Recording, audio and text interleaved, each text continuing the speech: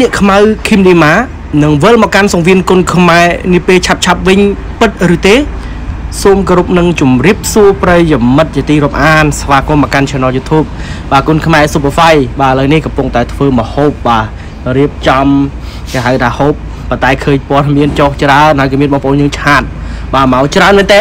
បាទដូចបងប្អូនបានឮសំឡេងណាបាទមានទាំងសំឡេងម៉ូតូសំឡេងឡានដោយសារតែនៅចិត្តផ្លូវប៉ុន្តែយ៉ាងណាមិញក៏នៅតែកាត់ជាវីដេអូដើម្បីឆ្លើយតប ទៅកាន់បងប្អូនជាច្រើនមែនតើបាទគាត់បាន inbox មកបាទស៊ូឌីម៉ាវៃវិញមែនអត់បាទអីចឹងទៅបាទហើយគាត់ជួនបាទ admin បាន order ខោអាវ Kim Dima ដូចបងប្អូនបានដឹងហើយបាទ Dima ឥឡូវនេះគាត់លក់ខោអាវ online បាទជាមួយភរិយារបស់គាត់ណាហើយ admin បានជួយទិញគាត់មួយហើយមុននេះបន្តិចក៏បានជួបជាមួយ Kim Dima ផងដែរអឺសម្រាប់ Dima ផ្ទាល់ក៏អត់ដឹងរឿងដែរបាទមិញនេះគាត់បាន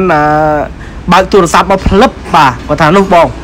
មិនទៀតហើយបាទឃើញការចុះផ្សាយបាទហើយខ្ញុំក៏រៀបនឹងសួរគាត់ដែរហើយខ្ញុំថាឌីម៉ាឃើញគេចុះផ្សាយអីចឹងណាមួយពីរប៉ុន្តែមិនទាន់បានសួរគាត់ផងបាទគាត់ទាញទូរស័ព្ទដៃមកឃើញបាទព័ត៌មានក្នុងស្រុកក៏ដូចជា page ក៏ដូចជាអ្នកគ្រប់គ្រងណាគាត់សប្បាយចិត្តមែនតើបន្ទាប់ពីបានឃើញ Kim Dima ប្រកាសចូលមកកាន់សង្វៀនគុណខ្មែរវិញទៅអាចប្រកួតនៅក្នុងគីឡូបាទ63ទៅ63កន្លះអញ្ចឹង បាទអញ្ចឹងចង់ដឹងថារឿងនេះពិតឬមិនពិតបាទខ្ញុំបាទ admin ដែលទើបតែជួបជាមួយ Kim Dima មុននេះបន្តិចបាទសូមសម្រាយជូនឲ្យបងប្អូនដែលជាអ្នកគ្រប់គ្រងប្រដាល់គុណខ្មែរបានដឹងដូចតទៅបាទអញ្ចឹងព័ត៌មាននឹងលេចលេចលើតាមរយៈ channel YouTube បាទរបស់ Kim Dima ឯងបាទ Kim Dima គាត់ live លេងហើយមានបងប្អូនយើងគាត់សួរណាបាទដឹងស្រាប់ហើយបងប្អូនណា Dima ជាកីឡាករមួយរូបដែល មាន fan ច្រើនបាទឌីម៉ាកែវរំចង់សែនរ៉ាដេតសែនរ៉ាឌីបាទជាកីឡាករដែលបាត់ពីសង្វៀនគុណខ្មែរយូរតែងតែមានការនឹករលឹកខ្លាំងពីសំណាក់ប្រិយមិត្តបាទអញ្ចឹងក៏មានគេហៅថាប្រិយមិត្តយើងជាច្រើនបានសួរគាត់ໄວឯណាឯណីអញ្ចឹងទៅហើយឌីម៉ាបាទគាត់បានឆ្លើយនៅក្នុង channel នោះគាត់មិនមែនបានន័យថា100%គាត់មកប្រកួតវិញទេបាទគាត់ថា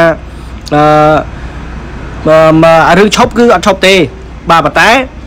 ជាថ្ងៃណាគឺគាត់នឹងឡើងប្រកួតថ្ងៃនោះបាទ ប៉ុន្តែគាត់អាចបានបញ្ជាក់ទេថាគាត់នឹងឡើងប្រកួតឆាប់ឆាប់ហើយខ្ញុំក៏បានសួរគាត់ដែរមិញនេះថាយ៉ាងម៉េចហើយឌីម៉ាជើងបាទជើងឌីម៉ាមិនហើយរបួសជង្គង់ហ្នឹងណាគាត់ថានៅតែអត់ទាន់បាត់ទេបាទអញ្ចឹងបានន័យថាភាគរយនៃការឡើងសវៀនឆាប់ឆាប់នេះគឺសឹងតែគ្មានហើយជាក់ស្ដែងគឺខ្ញុំជួបគាត់ផ្ទាល់មិញនេះបាទជួបផ្ទាល់ទិញអាវគាត់មួយបាទអញ្ចឹងបងប្អូនណាដែលបាទចង់បានអាវស្អាតស្អាតមិនម៉ាអីហ្នឹងអាចជួយទិញ Kim Dima ផងបាទគាត់លក់ខោអាវស្អាតស្អាតណាបាទខ្ញុំទិញគាត់មិញនេះបាទ13ដុល្លារ បាទ13ដុល្លារហើយគាត់គិតពីខ្ញុំតែ50000ទេបាទគិតតែ50000ទេឌីម៉ាបាទអញ្ចឹងគាត់ប្រហែលជាគាត់ discount ហើយបាទអរគុណមែនតើឌីម៉ាហើយនេះជាព័ត៌មានអាចនិយាយបានថា90%ហើយព្រោះមិញបានជួបឌីម៉ាផ្ទាល់បាទហើយក៏បានសួរគាត់ដែរអញ្ចឹងសម្រាប់គាត់គឺអត់តបានប្រកួតទេបងប្អូនបាទហើយបច្ចុប្បន្ននេះវាមានញឹកក្នុងការលក់អនឡាញបាទបើទោះបីជាអាជីវកម្មនេះខ្នាតតូចក៏ពិតមែនក៏ប៉ុន្តែនេះជាការចាប់ផ្ដើមបាទដំបងបាឌីម៉ាហើយហើយបងប្អូនណាដែលចង់បានអាវស្រស់ស្អាតបាទកុំភ្លេចអឺ គេហៅថាជួយជីវ idol របស់យើងផងបាទស្អាតមែនទែនអាយមិញខ្ញុំលោឲ្យស្អាតណាស់បាទដាក់ទៅភ្លឹបចំតែម្ដងបាទហើយអឺប្រហែលសប្តាហ៍ទៀតនេះមានបងប្អូនការអញ្ចឹងនឹងពាក់អាវនេះចូលរួមកម្មវិធីមើលទៅស្អាតណាបាទអាវឌីម៉ាលក់មិញបាទអញ្ចឹងព័ត៌មានមួយនេះចែកជូនទៅកាន់ប្រិយមិត្តបាទដែលចង់ដឹងឌីម៉ាណាគឺគាត់អត់ទាន់បានចូលវិញទេបាទអត់បានប្រកួតវិញទេជើងអត់ទាន់ជាទេណាប្រិយមិត្តបាទគ្រាន់តែគាត់ឆ្លើយថាអឺគេសួរថាយ៉ាងម៉េចហើយឌីម៉ាវាយកណាកណីណាគាត់ថា ពេលដែលគាត់ជានឹងនឹងជួបគាត់ទាំងអស់គ្នាហើយអញ្ចឹងទៅគាត់មិនបានឆ្លើយថាបាទនឹងជួបក្នុងខែនេះបាទជើងជា100%គឺគាត់បាននិយាយទេបាទអញ្ចឹងនៅក្នុងវីដេអូមួយនេះគឺយើងមានតែប៉ុណ្្នឹងទេប្រិយមិត្តទាំងអស់គ្នាហើយសង្ឃឹមថាបងប្អូននឹងយោគយល់ផងបាទសម្រាប់សម្លេងរំខានដោយសារតែ